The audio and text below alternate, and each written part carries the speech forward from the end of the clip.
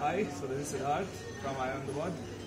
A great experience for the last 15 days, starting right from Kathmandu. So first we met Rahul here. We first wanted to shift to Alvar, but we had came to 327 channel, so party scene थोड़ा सा खराब हो गया. But still, overall experience जब वहाँ से लुकला पहुँचे, we had a group, but we planned to visit for three days, so we were lucky to get it on the same day. Then going to first, uh, we went to Lukla, then Fasting, then Namchoda. Namchoda was excellent was the cafe there. Unbelievable experience. Then we went to uh, Dingboche, Lobuche, Gorakshep, then Everest Base Camp. That day finally arrived, snowfall there.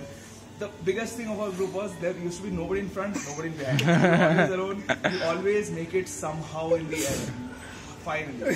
Finally. Then, a very interesting guide by the way. Emotions about it. But then again, coming back to then we came back through Feriche, then Somare, and then to Namche again. Namche again a great party experience. We partied to finally A5. and then we came back to Kathmandu, so we met Rahul again, and Rahul thanks a lot for the experience.